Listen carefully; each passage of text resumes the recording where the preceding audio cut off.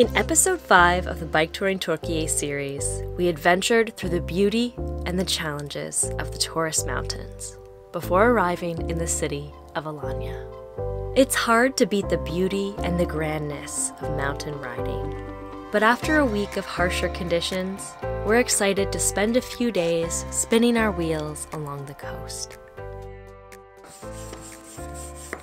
We prepare our bikes and fuel our bodies with food, chai, and coffee before hitting the road west. We make our way out of the hustle and bustle of Alanya. It's a relief when the traffic begins to lighten and the roads turn from paved to gravel.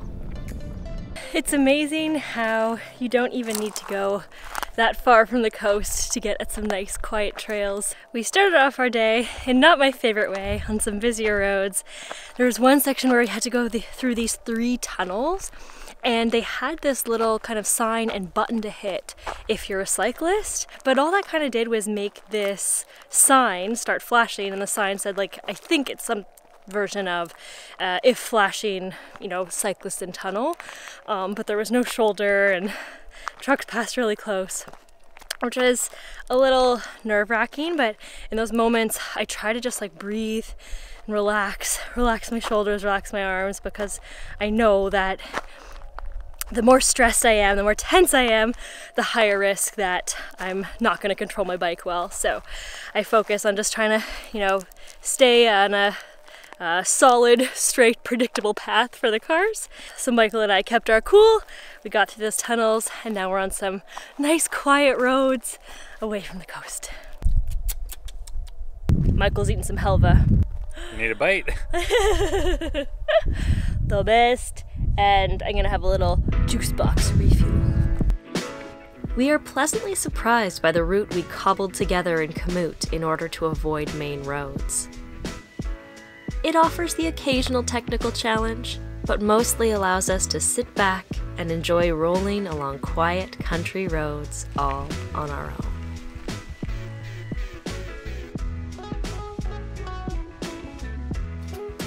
We stopped at a cemetery to freshen up before finding a camping spot for the night. We have become creatures of habit. Our dinner camping is almost always rice, a couple of veggies, whatever's kind of at the market, zucchini, eggplant, pepper, um, a can or package of beans with sauce, which is so good. It's like tomatoes and salty, and sometimes it'll have little vegetables in it, and raisins. That's our masterpiece. It's so good. It's so good. Yeah.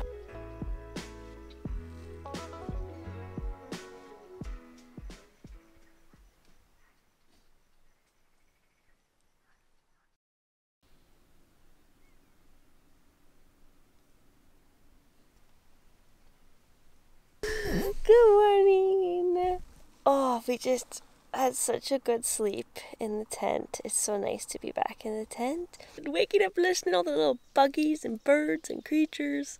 But time to get up and get back on the road and see what adventure is in store for us today.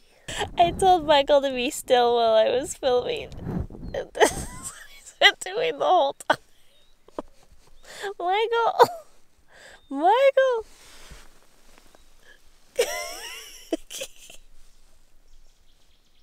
That's very good.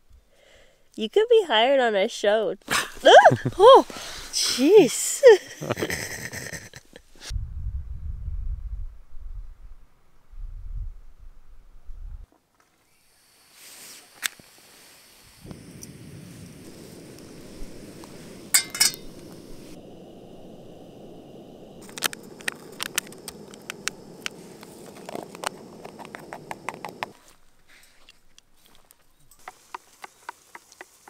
Uh, do you want to switch off? We can take turns. Oh, you got it. I have learned two things about coffee in Turkey.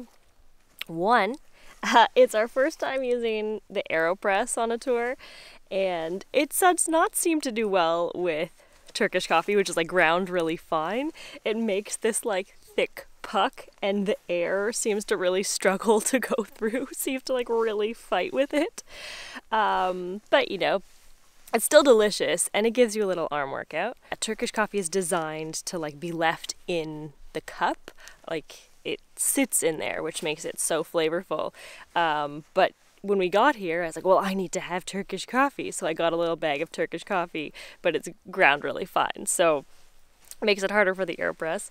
The second thing is that I actually really like coffee black. I never did before.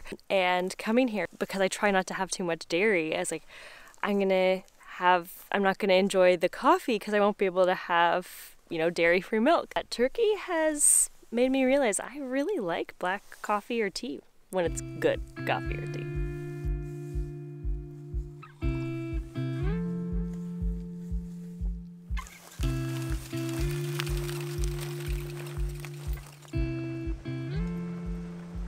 After a week experiencing cold, wind, and hail in the mountains, it's a treat to be able to pedal along in the warmth of a sunny morning. Unfortunately, the coast offers its own set of challenges.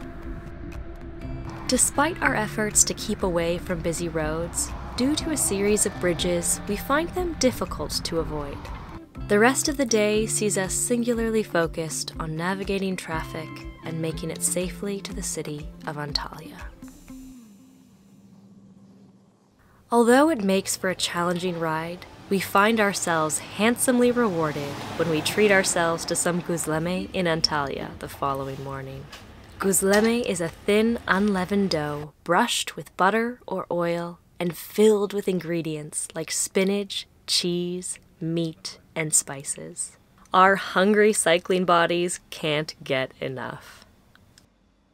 The next day, under the helpful guidance of a Warmshowers host, we prepare to continue west to take in some of the many historical sites along the coast before looping back into the mountains once more. Cats seem to be as common here in Antalya as like squirrels are in Ontario, which I am here for because I love cats. And one is bidding us a very desperate farewell at the moment.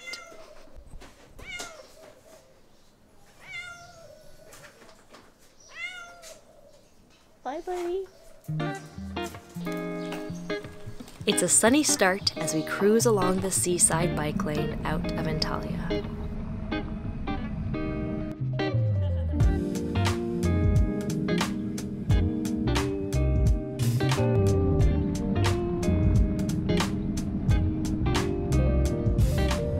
As we have now come to expect along the coast, some busy roads are required. But we eventually connect to a part of the Lycian Way, a 500 kilometer hiking trail in western Turkey. Although we find some passes too challenging for our loaded touring bikes, it makes for an excellent way to get off road and find a quiet camping spot. Or so we think. We thought we found the perfect little secluded wild camping spot, but then we discovered we have company.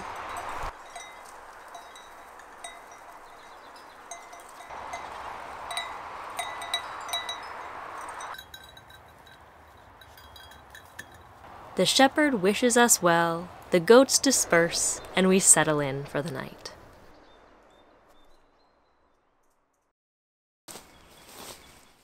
The next morning, we dry off the tent and load up our bikes for the day's ride. We're all packed up, and I don't know if anyone else is like this, but my panniers always end up like this disaster with so much stuff strapped to them. I have clothes that I want to air out. I have a rag that needs to dry. I have a garbage bag to make sure that we don't leave any garbage behind when we're camping. And I always just end up with just this big mound on my bike. So it's not like the most glamorous, but it works.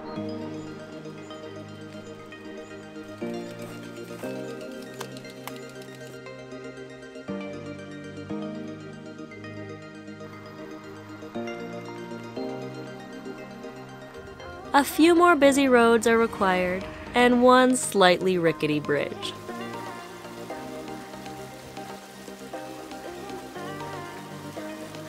But eventually, we arrive at the site of the ancient city of Olympos.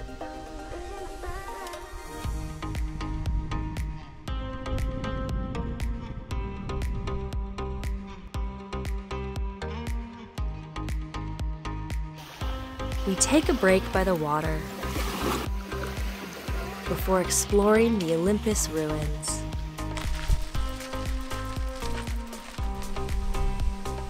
And continuing on to find a spot to rest for the night.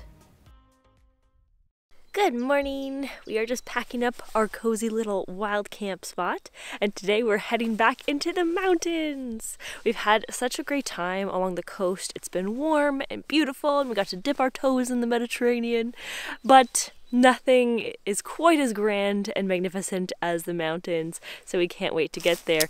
Off we go!